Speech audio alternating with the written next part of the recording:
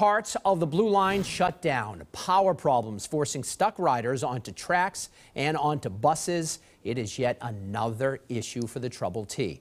WBZ's Tammy Mutasa is live for us in East Boston with more on what's happening there. Tammy.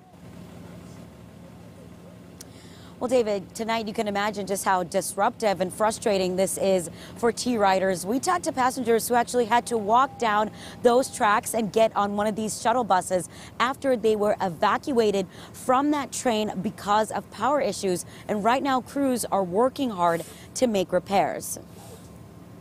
Over to Orient Heights, wait for a power issue. Power line fell along the right of way. Trains will be offloading onto the right of way. More blues on the blue line. This time, this MBTA train was left stalled on the tracks after T riders tell us they saw electric sparks. Then the train stopped. MBTA officials say there was some kind of a problem with the overhead power lines. Soon after, commuters were told they had to get off the train and walk 500 feet of train tracks to the station. I just, it's par for the course, I guess. Darlene was lugging her groceries down the tracks, a first for her since riding the T for decades. It's scary. a little scary walking there, going down the stairs is more thing because you couldn't have anything to hold on to.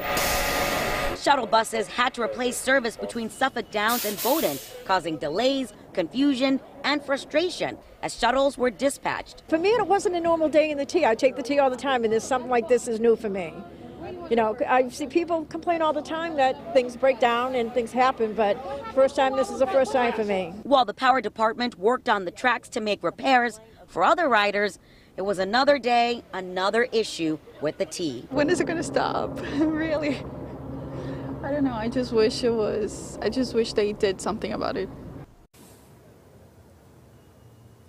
And back out here live, again, the power department is here working on repairs on those tracks and power lines.